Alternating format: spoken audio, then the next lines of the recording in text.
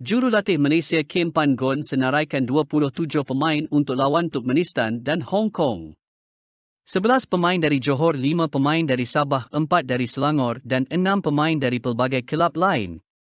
Video hari ini admin akan senaraikan pemain baru mendapat perhatian Pan Gon untuk panggilan akan datang.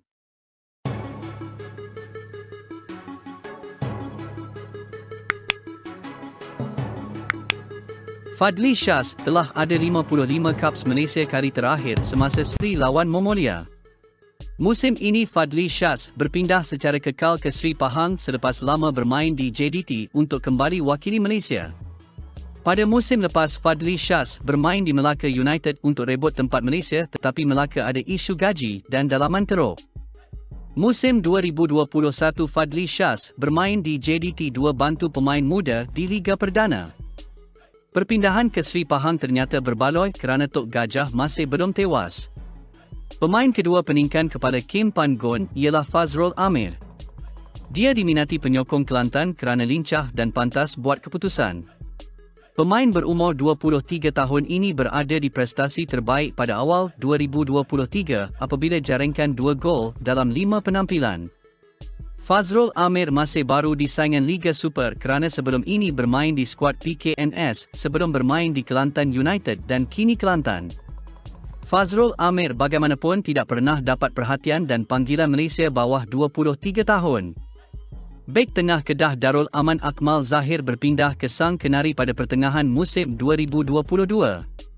Akmal Zahir bermain baik di Piala AFC pada pusingan kedua dan perbaiki pertahanan Kedah yang mudah bolos.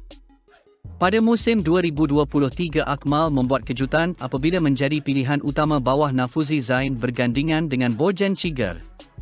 Dia juga jaringkan dua gol semasa tewaskan Kelantan United tetapi pertahanan tengah Malaysia sudah ada ramai pemain seperti Syarul Nazim dan Dion Coles.